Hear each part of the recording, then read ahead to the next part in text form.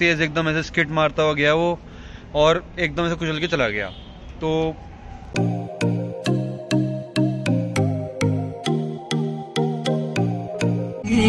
hey guys good afternoon welcome back to my next vlog तो time हो रहा दोपहर के 12 तो मैं थोड़ी देर के लिए बाहर आया हुआ था। तो यहीं आसपास मार्केट का कोई काम था तो इसलिए बाहर आया हुआ था मैं। तो आपने देखा ही होगा लास्ट व्लॉग में हमारा प्लान बन रहा है कहीं बाहर जाने का गगन मेरा और साहिल का।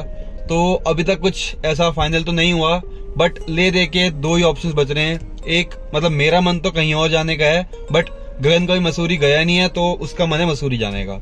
तो शिमला तो हम तीनों गए हुए हैं तो ज़्यादा चांसेस तो ये है कि मसूरी जाएँगे। तो वैसे तो उत्तराखंड में मुझे इतना सही नहीं लगता, क्योंकि दो बार गया हूँ मैं, एक बार मसूरी एंड एक बार ऋषिकेश। तो दोनों बार ऐसे एक्सपीरियंस था, बहुत ज़्यादा गर्मी थी वहाँ पे एंड जो मेरे ब्लॉग्स देखते हैं उसको पता ही है कि मुझे गर्मी बिल्कुल पसंद नहीं है। तो दोनों बार मतलब इतनी ज़्यादा होता है ना इरिटेशन होनी, इतनी ज़्यादा गर्मी मतलब बंदा बाहर आया है, दिल्ली से बाहर गया कहीं तो थोड़ा होता है कि यार मौसम चेंज हो, बढ़िया हो या कुछ हो तो वो नहीं था। तो उस हिसाब से एक्सपीरियंस इतना अच्छा नहीं रहा था। तो इसलिए मतलब मुझे लोग काफ़ी बोलते हैं कि उत्तराखंड काफ़ी उतना मेरा एक्सपीरियंस बेकार रहा बट जगह बहुत अच्छी है। तो आप में से अगर कोई उत्तराखंड गया है एंड उसको पता है बहुत अच्छी जगह है तो ज़रूर कमेंट सेक्शन में बताना। एंड बाकी देखते हैं, कोई बात नहीं, अगर मसूरी का प्लान बनेगा, कोई बात नहीं। मैं वहाँ भी चला जाऊँगा। ऐसी कोई प्रॉब्लम नहीं है। एडजस्टेबल हूँ यार, ऐसी कोई बात नहीं है। तो बाकी अब देखो कब फाइनल होता है। एंड न्यू ईयर का ही प्लान है। बाकी तो एंड देखते हैं अब उसके बाद। और सबसे बड़ी प्रॉब्लम तो ये है कि जब भी होता ना, बहुत पहले प्लान्स बनते हैं। जैसे अभी वो दो तीन हफ़्ते हैं न्यू ईयर में। तो जो पहले प्लान्स बनते हैं ना, वो अक्सर कैंसिल ही होते हैं। तो बस यही चाहता हूँ कैंसिल ना हो। बाकी जब इंस्टेंट प्लान बनते ना यार वो हमेशा सक्सेसफुल होते हैं हमेशा। मतलब अगर तुम बात कर रहे हो जैसे आ, कल हम बात कर रहे थे चलो यार कल का रखते हैं परसों का रखते हैं तो वो प्लान कैंसिल नहीं होते। बट इस बार ऐसा उल्टा हो गया वो तो कैंसिल हो गया फिर हमने कहा चलो न्यू ईयर के टाइम जाते हैं वहीं पे एंड वहीं पे सेलिब्रेट करेंगे। तो अब पता नहीं होगा प्लान होगा या नहीं होगा पता नहीं। बाकी गगन ने बीच में बोला गोवा चलते हैं। मैंने कहा अरे भाई हो गया फिर तो प्लान तो देखते हैं, मसूरी का ये प्लान तो। बाकी अगर हो जाए तो बढ़िया है। तो बस अब जा रहा हूँ घर, सामान वामान ले लिया मैंने एंड अब घर जाता हूँ फिर। कंटिन्यू ब्लॉगिंग तो जस्ट अभी घर आया हूँ मैं एंड आज तो ऑफ़ है मेरा, इसलिए बाहर घूम रहा था अभी मैं। तो अभी निर्भय से बात हुई थी, वापस आ गया वो। तो शाम को मिलूँगा उससे, उसके बाद इंसान से मिलवाऊँगा आपको, जो मेरे बिना बाहर घूमने चला गया। और अब मेन तो इस टाइम का था कि अब अगर उससे शाम को मिलना है तो अब क्या करूँ मैं? तो अभी तो कुछ समझ नहीं आ रहा।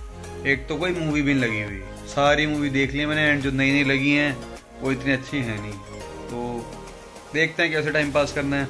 कहीं बाहर जाने का मन भी है, लेकिन समझ नहीं आ रहा कहाँ जाऊँ। चलो, देखते हैं, मन में आया तो बाहर चला जाऊँगा कहीं, वरना फिर। कोई नहीं, यहीं पे ही आराम कर रहे हैं, और क्या इंस्टा स्क्रॉल करेंगे थोड़ी देर। देखते हैं। टाइम हो गया शाम के छः एंड मैं आ चुका हूँ धोखेबाज के घर के नीचे। तो हमेशा इतना वेट करा रहा है मुझे वो। वैसे भी धोखा दिया उसने बाहर जाने में एंड यहाँ टाइम पे भी धोखा देता है वो। तो अभी मिलवाता हूँ उससे आपको एंड तो कुछ ना कुछ बहाना ज़रूर मारेगा कि मैंने तेरे को बताया था वगैरह वगैरह, पर उसने मुझे नहीं बताया था। एकदम एक दिन पहले बोल रहा मुझे मुझे मेरा प्लान बन गया, मैं जा रहा हूँ। मैं अच्छा भाई, जा भाई, फिर और क्या। आए दोस्त को, मिलवाते हैं उससे। आ गए भाई साहब, धोखेबाज आदमी। हाँ भाई। धोखेबाज मैं हूँ। फरेबी। जनवरी की टिकट दिखाऊँ कौन कहाँ जा रहा है? अरे भाई किंग के शो में दिसंबर में भाई वो। फिर? दिखाऊँ जनवरी की हाँ दिखा। दिखाऊँ? हाँ दिखा दिखा। दिखा दिखा दिखा। देखो। टिकट है ही नहीं ऐसी हो रहा कोई नहीं भाई कोई नहीं सबका वक्त आता है। वक्त कभी भी बदल सकता है। हाँ वही तो। आओ भाई घूमे इसके साथ अब चलो। तो टाइम हो गया रात के आठ तो जस्ट अभी मैक्स का खाना लेके जा रहा था मैं। तो अभी डी मार्केट गया था ना सेक्टर थर्टीन की जो है तो वहाँ बस जिनसे अंडे ले ही रहा था मैं तो उन्होंने बताया मुझे कि ऐसे ऐसे गाड़ी वाला आया था एंड गाड़ी के कोई ऐसे ही पास में दो पिल्ले बैठे हुए थे एंड उनको कुचल के चला गया। एंड मतलब वो भी थोड़ा इतना सैड होके बता रहा था ऐसे, कह रहा कि मतलब ऐसी होता ना, इतनी तेज एकदम ऐसे स्किट मारता हुआ गया वो, और एकदम ऐसे कुचल के चला गया।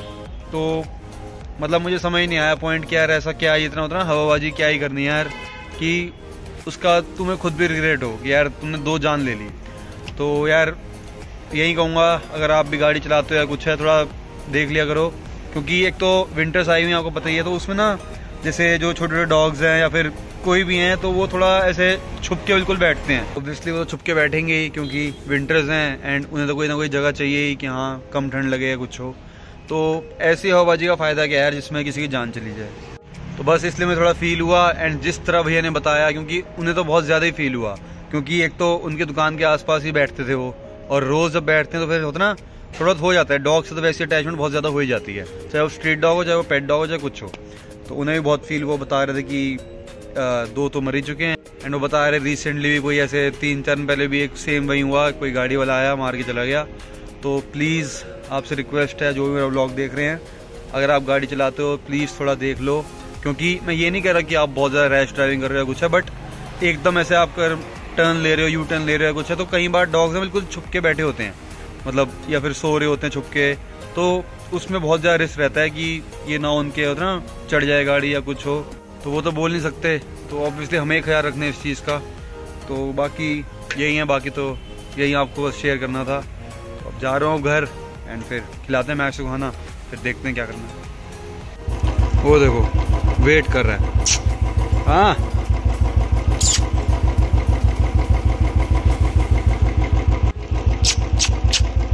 तो ये जो अंडे थे मैक्स से लेके आया था, लेकिन ये यहाँ पे आ गई। वहाँ तो आई नहीं आज ये, जहाँ मैं खिलाता हूँ इन दोनों को। तो यहाँ आ गई, बिल्कुल जहाँ मेरी बाइक लगी होती, बिल्कुल पास में आ गई। तो मैंने कहा, चलो, कोई बात नहीं मैक्स को आज डॉग फ़ूड खिला दूँगा। इसको अंडे खिला दो। तो अब चलते हैं ऊपर। तो जस्ट अभी घर आया हूँ मैं एंड मैंने मैक्स को खाना खिला दिया। तो अब थोड़ा बहुत उसने ऐसे ही खेला इधर उधर एंड फिर शांत होकर बैठ गया। तो यहीं से आज का ब्लॉग तो हम करते हैं। ब्लॉग खत्म करने से पहले आपको दोबारा बोल दूँ, आपसे रिक्वेस्ट है आप सबसे, कि प्लीज़ अभी तो ठंड और बढ़ेगी भी शायद जनवरी में और एंड फॉग वगैरह भी आएगा ही। तो प्लीज़ थोड़ा ख्याल रखना इस चीज़ का। एंड अगर आप जैसे कोई कार स्टार्ट कर रहे हो या कुछ है तो कई बार तो गाड़ी के नीचे ही बैठे होते हैं वो। तो प्लीज़ थोड़ा देख लेना कि ऐसे से कोई डॉग वगैरह या फिर कोई बिल्ली वगैरह आसपास ना हो, नीचे ना हो गाड़ी के, क्योंकि मतलब वो आप आवाज़ करोगे ना कैसे ऑन करोगे इंजन तो उसकी जो आवाज़ उससे वो बाहर आ जाते हैं। तो आप थोड़ा देख लेना पहले ही, जो आपकी पार्किंग है, जो स्पेसिफिक पार्किंग होती है, कि वहाँ पे कोई डॉग ना हो तो तभी जाना। तो बस यही है, और कुछ नहीं। बाकी आपको ही पता है क्या ठीक है, क्या गलत है। जान है तो जहाँ है। तो यहीं से आज का ब्लॉग खत्म करते हैं। अगर आपको ब्लॉग पसंद आया प्लीज़ लाइक करें कमेंट करें शेयर करें सब्सक्राइब करें। Thank you so much for watching video bye and take care